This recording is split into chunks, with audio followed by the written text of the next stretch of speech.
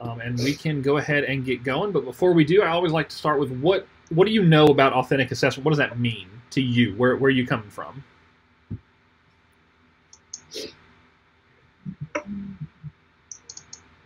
Anybody? I think, Josh, you and I had some good conversations last summer about trying to make sure that the assessment is not just what we've always done in our field, but is really getting at what we want students to learn. Absolutely. Um, and, and giving them opportunities to display that they've learned that thing rather than saying this is an English class, so you should be writing a paper. Excellent. Um, Wholeheartedly agree. Although there is definitely something to be said for writing papers, especially in an I'm, English class. not trying to trash writing papers. especially as an English teacher, I'm a big fan of writing papers in addition to other things. So yes, I wholeheartedly agree with you. Excellent, excellent. Hey, Lisa and Julia, welcome back. Anybody else have any thoughts on authentic assessments before we get going? Do we know what they are? Do we want? Hey, Julia. One of the things that comes to mind for me in authentic assessment is it's an assessment that the student can use in some way to, to sort of understand what they've learned and what they've yet to, to master. That's a cool way of looking at it. Very nice, Peter. I like that. I never considered it from that from that point of view, but that's an excellent excellent point. It does. I like it. Thank you.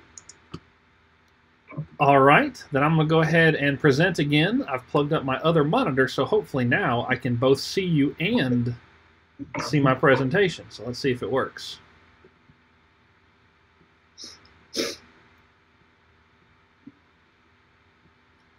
All right, can you see my little PowerPoint thingy?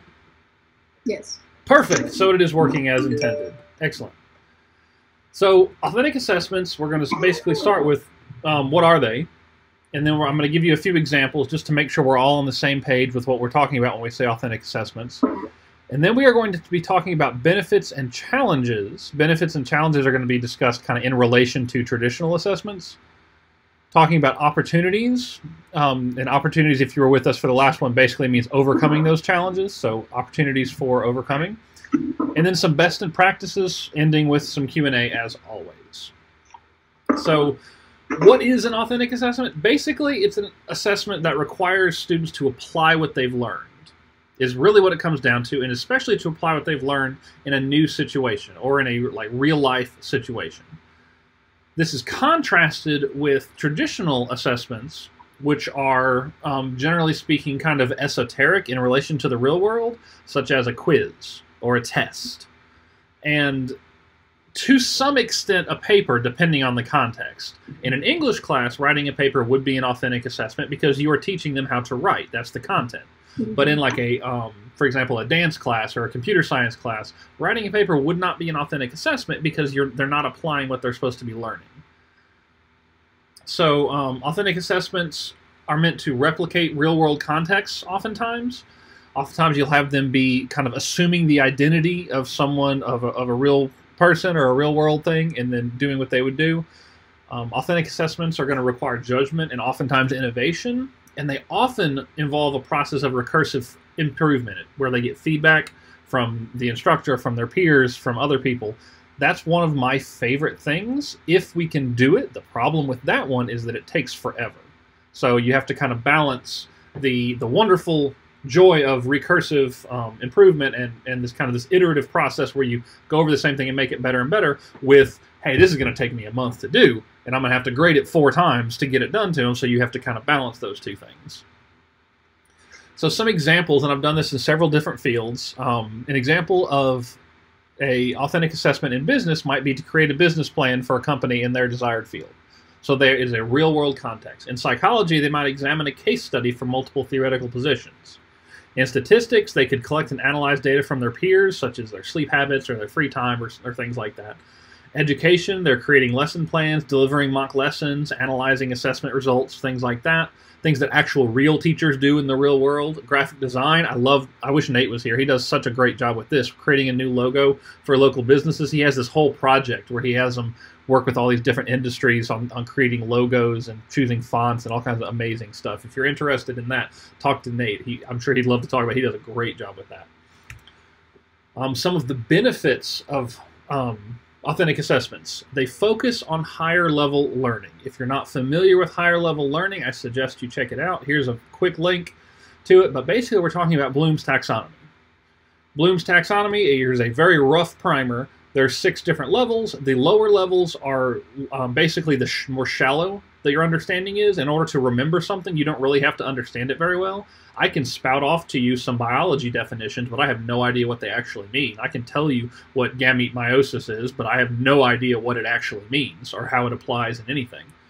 Um, there's understanding and then applying. So you, in order to really understand something, um, you might have to describe it or something, and then to apply, you obviously need to apply all the way up to create. And those of you who did QM training, by the way, this should look familiar. Um, but create is is the highest level because you are creating new things. You're you're kind of um, taking what you have, the information you have, and synthesizing it into something new. These create, evaluate, and, and analyze are where you want to get your students. That's not to say that you don't need these bottom four, because you definitely do. You need students to remember things and understand things and be able to apply things. But that's the foundation to build upon and up here are the ones that we actually need to get them to. This is where all the magic happens. The create, analyze, I'm sorry, create, evaluate, and analyze. So authentic assessments allow us to get to those higher level learning much more easily than traditional assessments. Now, can you get to the evaluate? You hear an echo. That's a good idea. Thank you, Yay. Ev let's everybody mute. It looks, um, if you would, and then if you have a question, just unmute and let me know. Um, so the it's much easier with um, authentic assessments to reach those high level of learning as opposed to a traditional assessment. Because in a traditional assessment, can you formulate questions that require students to evaluate things and analyze things? Yes, you can. You definitely can. They are much more challenging to do, and I can't think of a way you can formulate a multiple choice question that has a student create anything. I cannot imagine a way for you to do that. It might be theoretically possible. I've just never seen it or never heard of anybody doing it. So it's much easier to get these top three through formative assessments.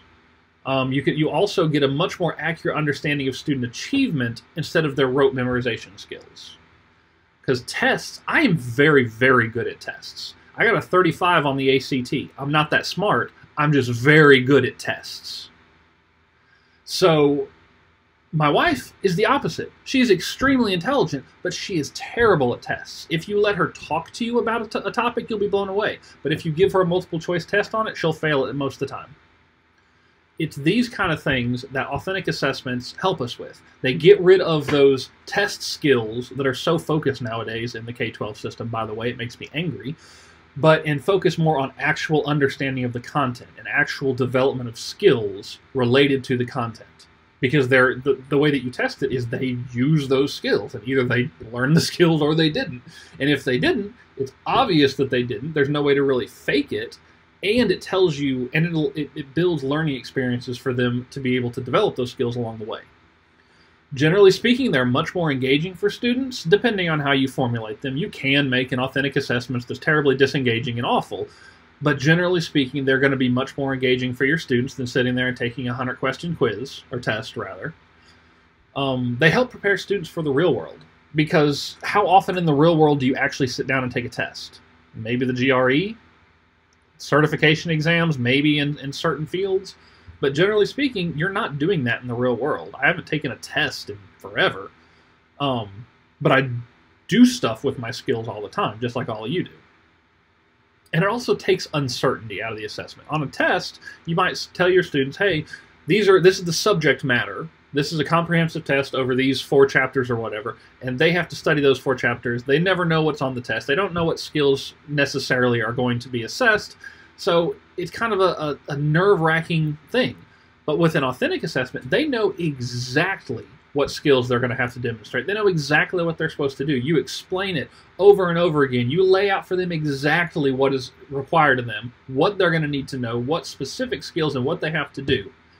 So it kind of takes the, the traditional, flips on its head. Traditional, you guard those test questions with your life. You don't let anybody see them unless they cheat.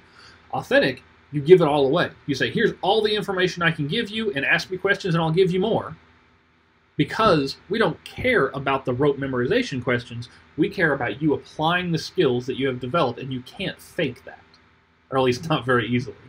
It's harder to fake it than it is to actually just do it. Any questions or anything thus, thus far? Sorry, I get kind of passionate about authentic assessment. this is my teacher coming through. There are, however, some challenges with authentic assessment as opposed to traditional assessment. They take longer, is the big one. That's the main one. If you have a quiz or a test, you can knock that out in a class period. In, a, in, a, in just a meeting, you can be done with it. Or if it's a quiz, you can do it in the first 10 minutes of class and you're done and you're ready to roll. Authentic assessment takes longer because you have to create it, you have to explain it to your students, you have to give them time to work on it and prepare and create the thing they're creating, so it does take more time. Also, it's complex. Authentic assessments, by design and by definition, are more complex, meaning that you're going to have to choose how complex to make them depending on your students, and you're also going to have to figure out how to relate those um, complexities to your students in a way that they can understand and they can access and accomplish. And finally, grading. A lot of people have trouble with authentic assessments because they say, "Oh, it's not valid, it's not reliable." You don't. You're. It's. It's so. Obje- it's not objective. It's so subjective because it depends on how much you like it as an instructor. We are going to talk about each opportunities to overcome each of these three things, or at least mitigate some of them. As far as time goes, you can build learning assess opportunities into the assessment. So instead of saying, okay, here's assessment time and now here's instruction time, you can kind of combine those two. You have a lot of overflow with Authentic because they're practicing the skills that you're supposed to be teaching them. You can have them be building the things for their Authentic assessment as you teach it to them. Um, so it's Peter. Were you going to say anything? Okay. So you can have them building those things, and you can have those learning opportunities built into those assessments along the way. Um, I also one thing I love to do is to break the assessment, the authentic assessment, into little parts and have them complete them over time, combining it in the end.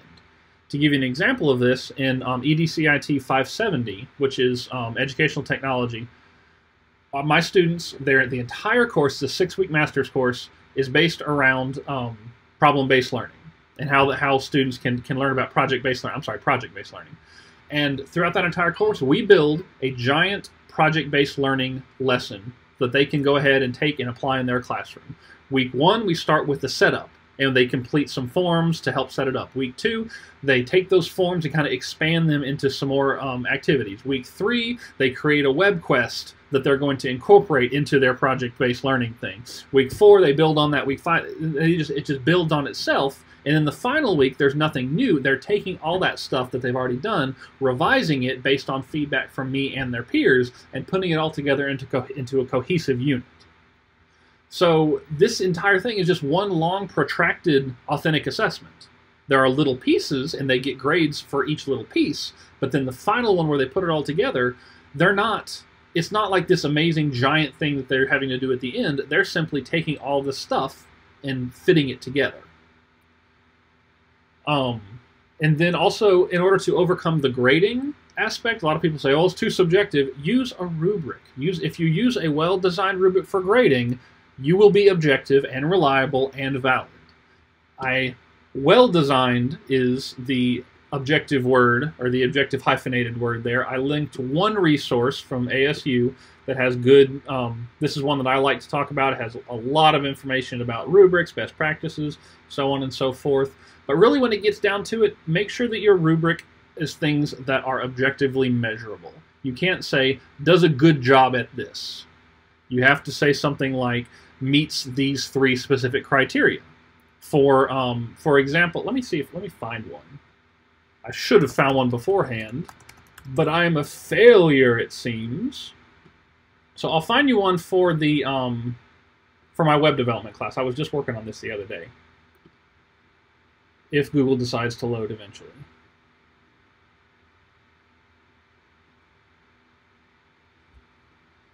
To, to, to today, Google.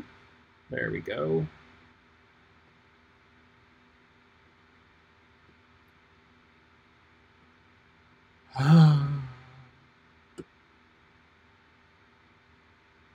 Please open. Okay, well, Google hates me, so it's not going to open. I will um, send it out later if you're interested. Basically, what it comes down to is I have things that are very specifically measurable. Your code contains X number of comments in order to um, highlight the things. Your your users are able to click um, here in order to hide the, the, this item. You incorporated this framework, that kind of thing. Very specific, objective, measurable things. Sometimes you can't be objective because in a lot of times especially in um, like the arts and things like that it's a lot more challenging to do that. So you have to add a little bit of subjectivity into it. However your rubric needs to um, have be as objective as possible. Um, does anybody have any questions or thoughts about how to do that in your specific discipline or any problems doing that? Any anything you can reason you wouldn't be able to do that All right. Excellent. That's good news. So, as for some best practices, please use backwards design. This is something that, that, in my opinion, everybody should be doing all the time anyway. But in case you're not, in case you're not familiar with it, because this is kind of an education-specific thing, it's based off the a book written by um, what is it, Hughes and McTighe? Let me find it. Hughes, it's in here somewhere. Wiggins and McTighe. Wiggins and McTighe wrote a book called Understanding by Design. The basic premise of it is that traditionally, a lot of people started designing their courses by first saying, "Okay, what do I want to talk about?" and then they talk, and then they kind of write down their instructional ideas. I'm going to talk about this topic and this topic and this topic, and then they plan out their lectures and plan out their course calendar, and they go back and say, okay, what type of assessment do I want to use? I'm going to put in a quiz here, here, and here. I'm going to have them write this paper here and here, whatever um, understanding by design or backwards design flips that on its head. It says, okay, instead of that, first off, what do I want my students to leave with? What knowledge, what, what learning objectives do I want them to leave with? Then, before I plan any type of instruction, I go into my assessments and I create my final assessments. All of my assessments need to be created before I can really plan out my instruction.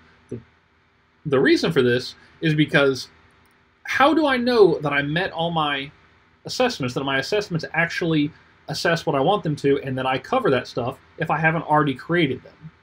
So I need to know where we're headed before I figure out how to get there. So that's that's there's a lot more to it, but that's the basic idea behind it: is that you start with the ending and work backwards. The last thing you make are your your lectures or your things like that. You, you plan that you plan out your calendar. That's the last thing you do, instead of the first thing, which most people use. Um, also, you should introduce this assessment, any any formative, I'm sorry, any authentic assessments you do as early as possible. This kind of goes along with the whole idea of giving students as much information about them as possible. Introduce them as early as possible. With, I mean, obviously, don't say, "All right, welcome to class day one. We have 17 authentic assessments." The first one is you don't want to do that, obviously, but as soon as it becomes relevant, tell them about it. Even if you don't go into super details about it, just let them know, "Hey."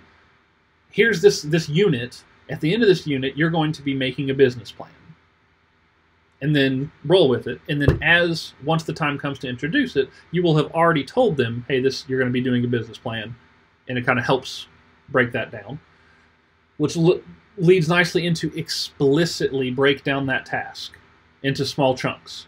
One of the things that I hear a lot of times from professors that our students are lacking and that college students in general are lacking is the ability to analyze tasks and break them down into manageable components.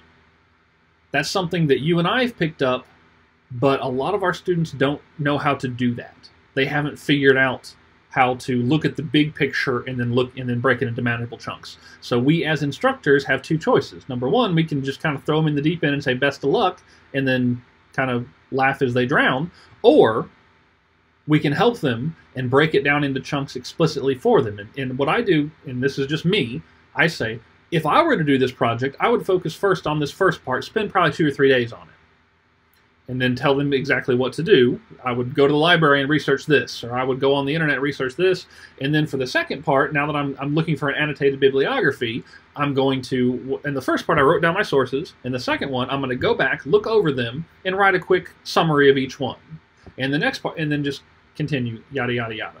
So I am explicitly and concretely breaking down the tasks to these students. If you can incorporate student interests, this is a little bit more challenging, um, especially now that we are socially distant because you don't get to know your students as well as we used to be able to, which is unfortunate but true. However, if you can learn about your students' interests, you can sometimes fold them into your authentic assessments.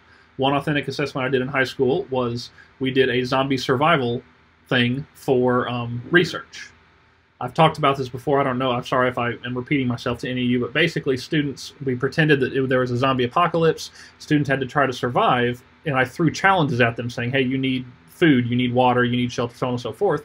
And they had to do perform research on what they wanted to do and then cite it using proper MLA, MLA citation, so on and so forth, turn that stuff in. Did I have to toss in zombies to teach them MLA citation? No. But I still get messages from those kids five years later saying how much they enjoyed that project and how they're now using their MLA stuff for their um, for their college.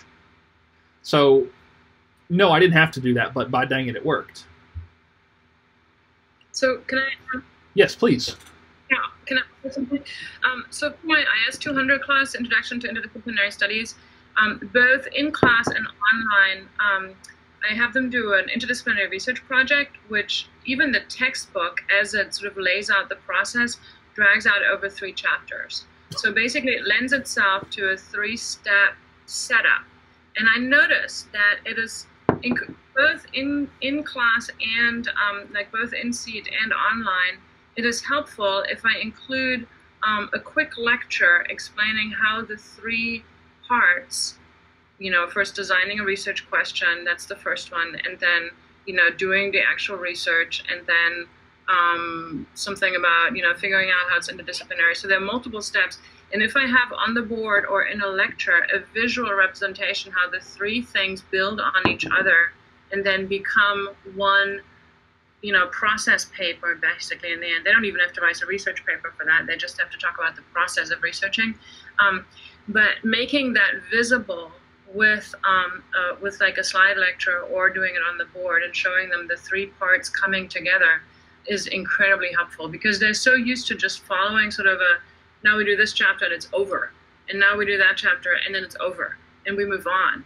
And so explaining to them how the three things will come together and they will basically have all the material for the last part with my feedback that I gave all along these three steps having a visual in there and laying that out before we even move towards the um, creating deck, actually doing the project, has been really useful. So the first couple of years I did it, or the first couple of times I taught it, I would do it, and then I would be surprised that they didn't grasp the fact that we were in the middle of this project. Like they didn't, you know, they didn't understand that we were, even though the textbook chapter and the syllabus they all laid out, but the visual really helped. So then they were like, oh, that's what we're doing.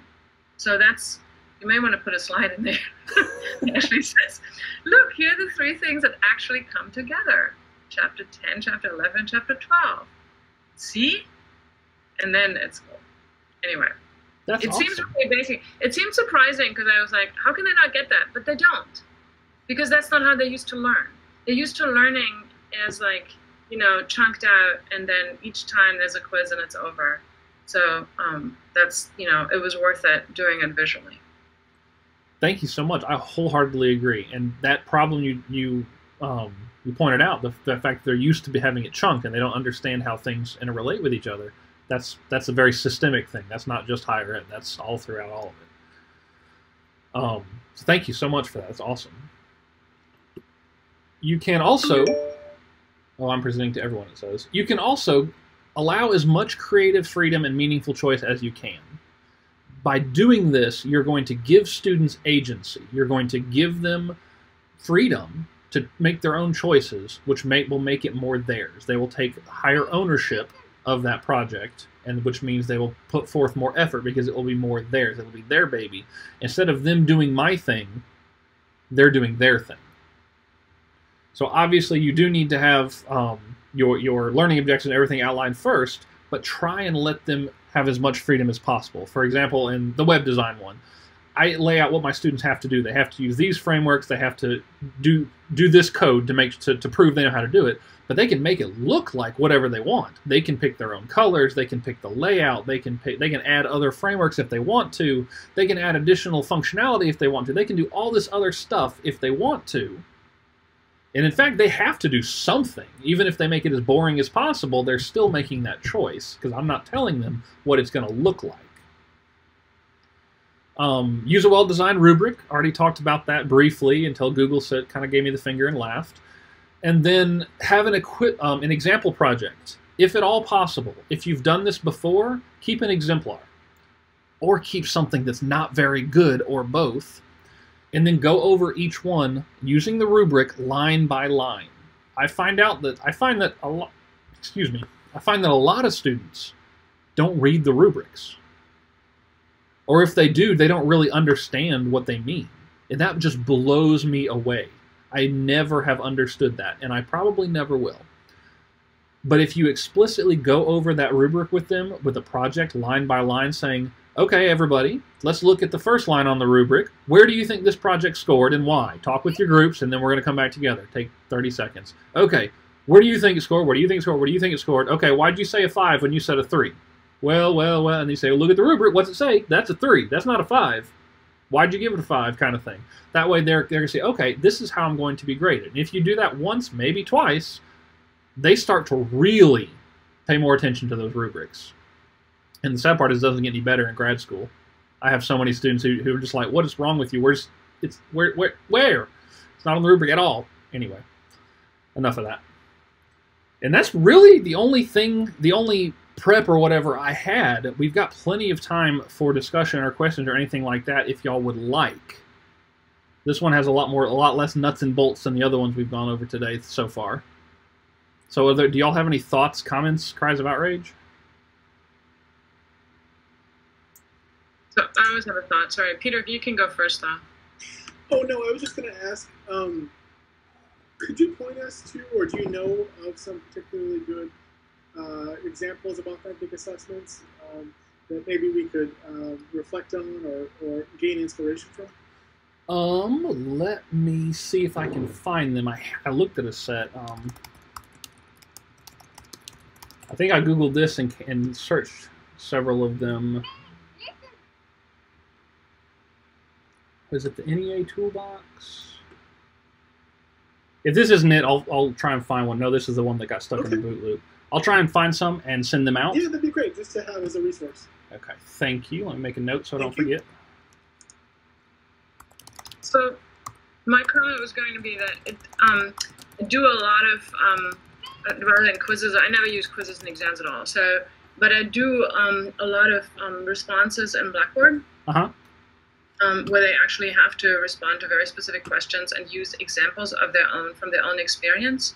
So that helps me then realize, like, I understand whether they know not just whether they've read the text, but they also understand how it relates to an actual event or experience that they have or something that they know. So they can make that connection, and I think um, we're better off than just them regurgitating whatever's in the text. So they have to like everybody writes something different and make very clear that I don't expect the same answer from everybody, that it's all going to be individualized answers. And then I do actually give them pretty specific feedback and thank them for making specific connections so they know that I'm reading. And it sounds super high um, work intensive because I do actually respond to each Blackboard post they put up there. And especially if it's an evening class and it's, you know, and, and I get, um, you know, 20 posts twice a week, and they each, you know, these students start to write a lot because they have thoughts that they want to share and they get really engaged. But it is worth it because you end up having so much less trouble in getting them like to do the stuff you need them to do. Like they become so much more self motivated that you have to do less in terms of, um, you know, doing outreach and following up and all that kind of stuff, and like and and going back to material because they um, they do take more ownership and they feel that they're being heard. So in the end, I always feel like it is worth that extra time because it cuts down on the struggle in another you know in another area of trying to keep them engaged. So they usually really like that class because they feel like, oh my God, everything's beginning to make sense. But it's mostly them articulating what they're learning and why it's important. And especially for IAS, that's ongoing for the majors too, because that's one of the main goals that I have. Can you articulate what you're doing and what how that is different from um, from a um, from a traditional single major? So um, that is one of the back end goals that I'm actually working towards. So then I say, how do I make that happen? Oh, you know, they just keep having to articulate it throughout the semester at various points and have these moments in there. And that's all written, or you can do it, I guess, spoken as well, but it's easier if it's just online. But Awesome. Thank you.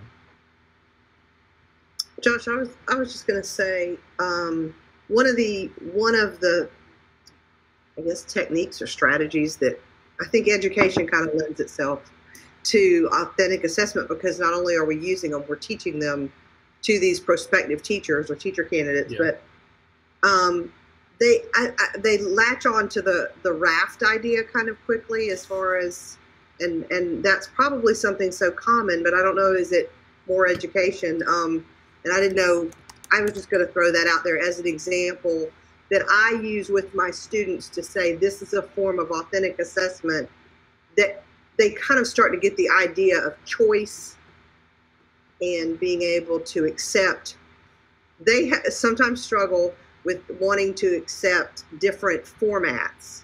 Can you real quick before you Yeah. go on? Could you could tell us real quickly what are you talking about? You're talking about raft writing, I assume. I think that's kind of education centric yes. for the most For part. the for the most part, yes. And so I would tell them with my third grade, and I always use my own classroom experiences. So um, when we were studying colonial America, my third graders could write a letter to, um, you know, if you were, and then you have to figure out your voice. Who are you in the letter?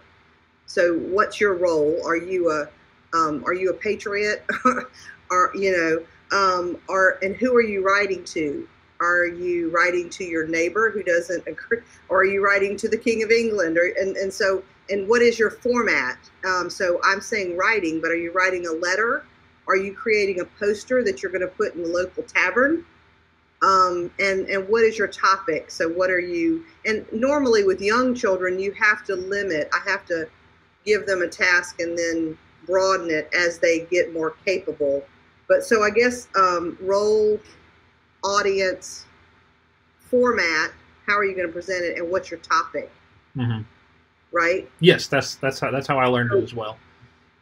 I, I just I, I feel like that lends itself in especially you know music, dance, certainly writing.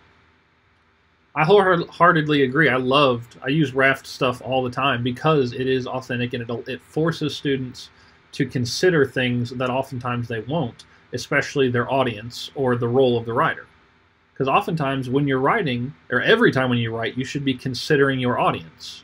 Because I'm not going to write the same if I'm writing to my wife as I am if I'm writing to a board of trustees or who, whatever else. Um, but by offering that, especially if you let them choose a lot of those things, Right.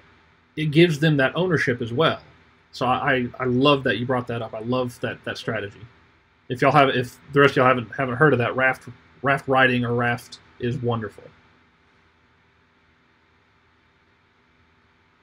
Anybody else have any thoughts on authentic assessment? Anybody have any anything they'd like to try that we could brainstorm or whatever? I don't know. I'm just throwing stuff out there.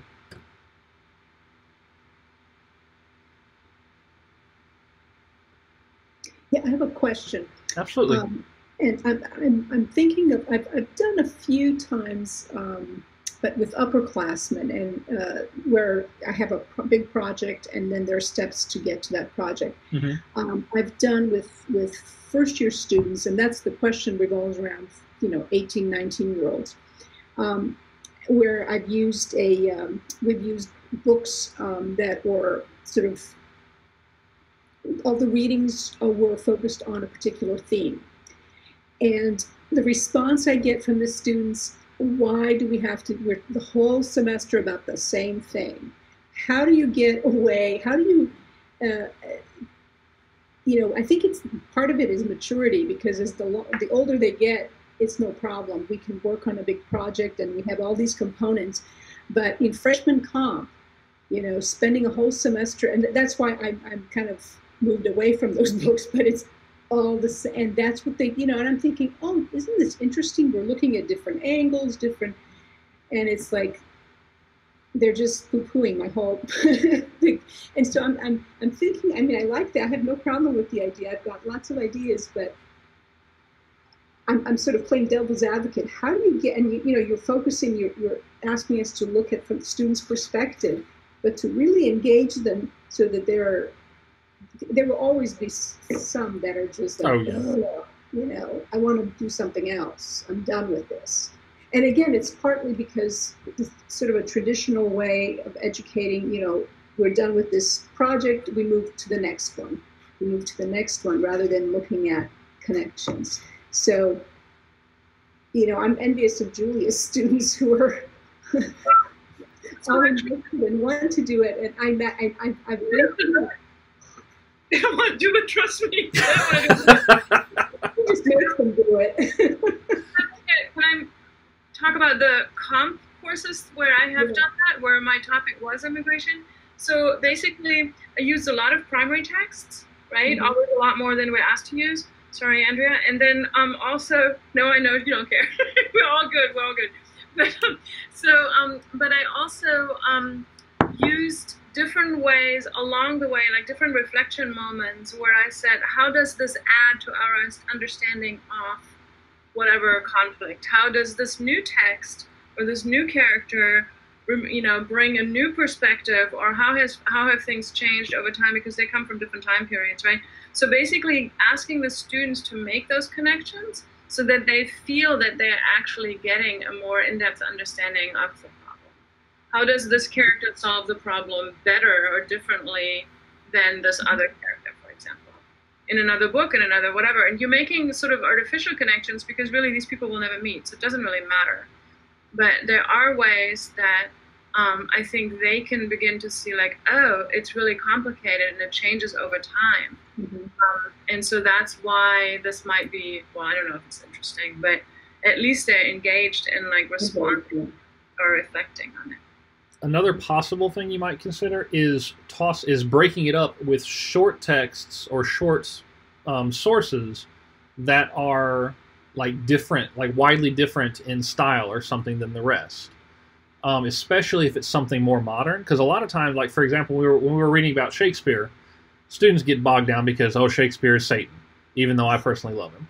Um, but then if you throw in something much more modern that's still on the same theme, then you can then you can kind of get around it. Especially if you say, "Here's five things you could read. Pick two of them, and here's a very short synopsis of them, and those are going to supplement the main texts." Yeah, I mean, what we're reading is contemporary, and uh, most of it is nonfiction, and then we have some fiction as well. But it's it's I'm, I'm using very contemporary. Okay. I'm not going. This is you know, and it's the, the focus is writing. Right? So, So- yeah, Yeah. Um, so that that part, yeah, I've taken care of. I'm, I'm really zeroing Okay, on so something that's that's you know that they can and that they can kind of draw connections to very relevant uh, relevant issues going on right now, current. yeah. It's like when you're having them write. You, you mentioned that you're having them draw connections to current issues. So if you're are, if you're having them write and read about things that are related to Black Lives Matter, I can guarantee you're going to have a lot more engagement just Mhm. based on the current event and the fact that it, it is so personal to so many of our students. So I, th- Yeah. I think that's awesome that you're doing that. That's a great way to help with that. To be more specific, the focus is language and the power of language and how we use language. And so there's, you know, language of conflict, there's Uh-huh. language of immigration, the language is everywhere. So you can, whatever topic, you can link it to language. And so it really lends itself very nicely. Yeah. But I'm, I'm, I'm hesitant, I'm nervous about how are they going to whether they're going to accept this one big project with lots of little components. I just have to make that work. That's my challenge. Well, you also have the option of instead of, instead of doing one bid project for whole semester, do a project that goes for three weeks or or something like that. Oh yeah, they'll all connect, and then they'll be using all those little components in their big at the end. Yes, I gotcha. Yes. Um, hmm. You might, for your large project, might just be a portfolio of their work, where they doesn't necessarily have to be closely related by theme or, or, or any of that type of stuff. It could just be. I'm just. I'm. I have no idea. I'm just brainstorming possible ideas. Yeah, no, I, I know. I mean, it's this is something that I, I think it, it's a long-term issue that I'm kind of trying to figure out how. to And composition is kind of notoriously difficult to get students engaged in because they don't really care about grammar. they don't really care about sentence variation and structure for the most part. Well, and yes, now I may have, I don't know if we've had this personal conversation or not, but I think moving to higher education from where I came from, being the elementary classroom, I expected students to understand that writing had, for instance, organization. that you, I mean, we have so many different. I'm, I'm not. I know I'm telling you something you know, but I guess what I'm saying is, I have become frust- I've been frustrated because I really didn't realize that I would still be doing some of the same writing as I did in third grade, but on a different level. But the same concepts are there as far as you have no topic sentence. I need your details. I, you know, I need you to. You said this in your introduction, and then you never told me any more about it. So I, I just, I just, I think I just wanted to tell you that misery loves company, and that I have really, really struggled with the trying to give the students what they need as far as the writing goes. And then there's also so much content that also, you know, anyway, so forgive me for rattling. I'm not sure what I was saying except that I hear you. I think we all do. I think I think that's a huge challenge with these authentic mm-hmm. assessments because I, you know, Lisa, I think you and I uh, have one particular student who I think will always linger in our memory as, um, as, as, as, somebody with tremendous depth and potential who just could mm. not express herself on paper and probably never will.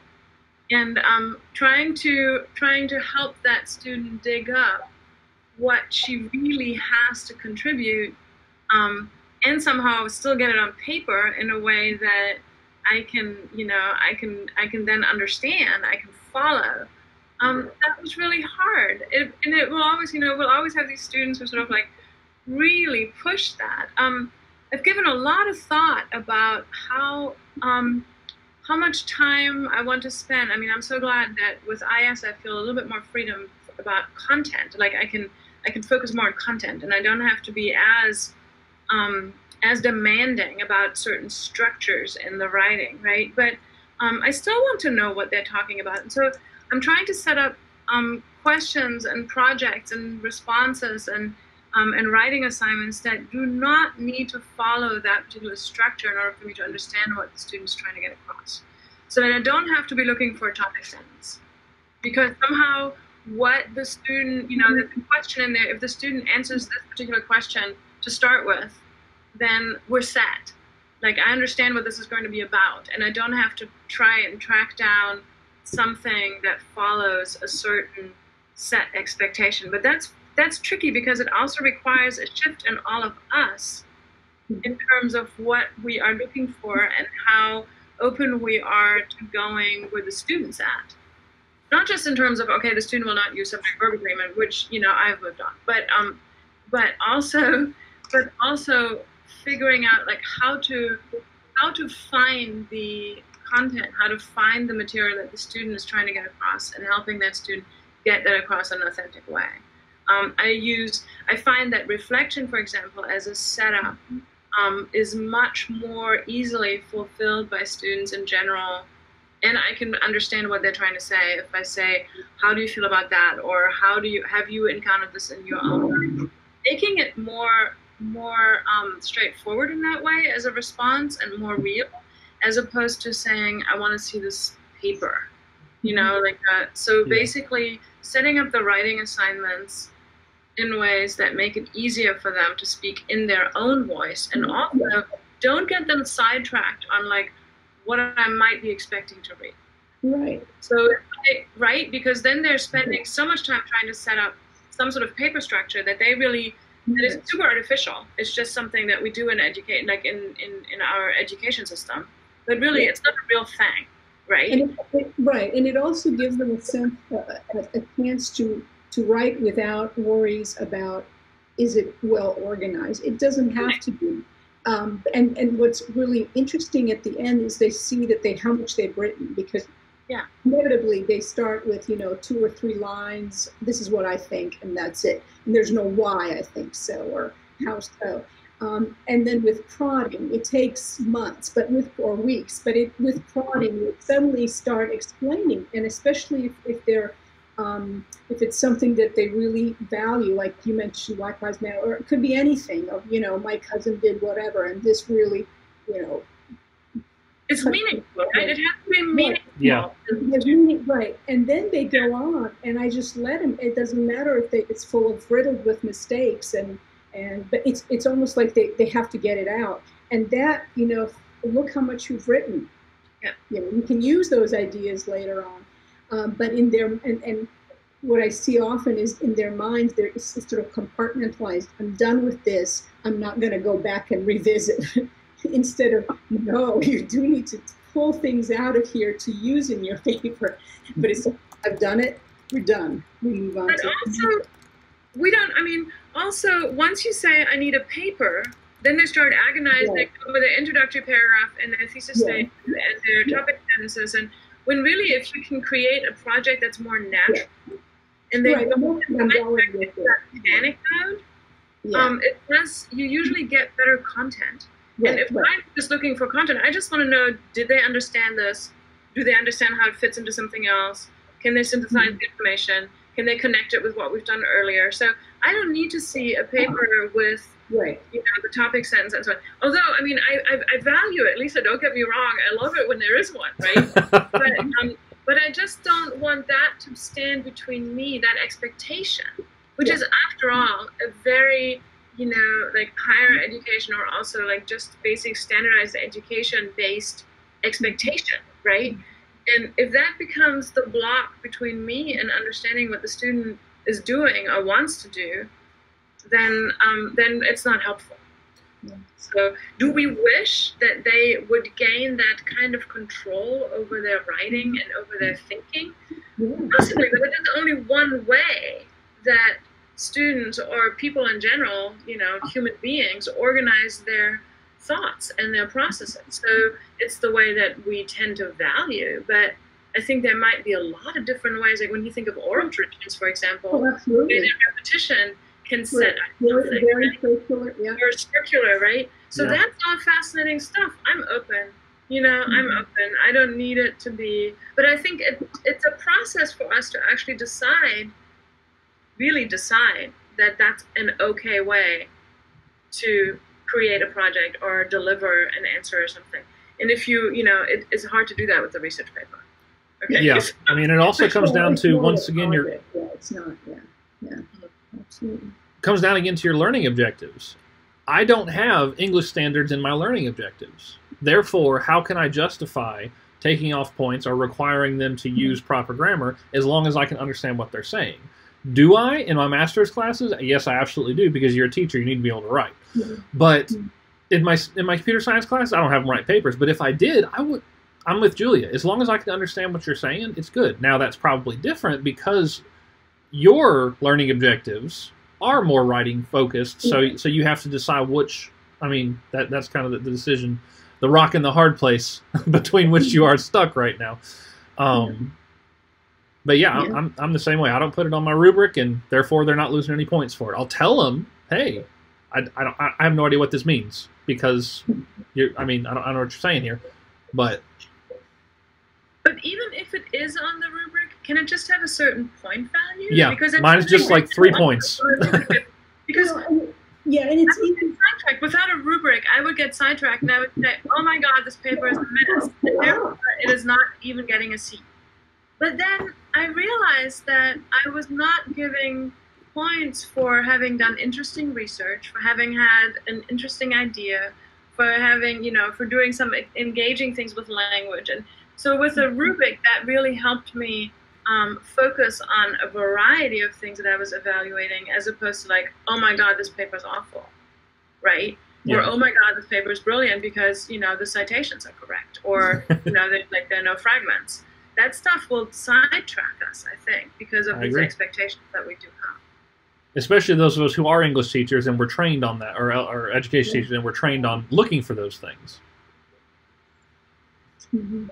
Uh, one, I think, too, going off of what Julia is saying, one of the really beneficial things I'm taking from our conversation is focusing on uh, mastery of the most important thing, right? Or right, or not even mastery, but Yeah. focusing on understanding of uh, core concepts or or big ideas, right? Because um, uh, you know, I mean, there are elements of education that are always journey based, which is, which is to say, something you do in a 100 level class uh, gets built on a 200 level class, and so on and so on. And I think um, keeping those big picture things in mind is a really good thing I'm taking from our conversation. I agree. Thank you, Peter. That's awesome. I need to go, but thank you for this. Thank you. I'm I'm in the same boat. I'm gonna have to head out in a couple as well. Does anybody else have any thoughts or questions or anything else to? This has been a wonderful discussion. Thank you. Well, thank y'all so very much. Um, as always, if you have any questions or anything I can do to help, please shoot me an email. I love it. Thanks. See y'all later. Thank you.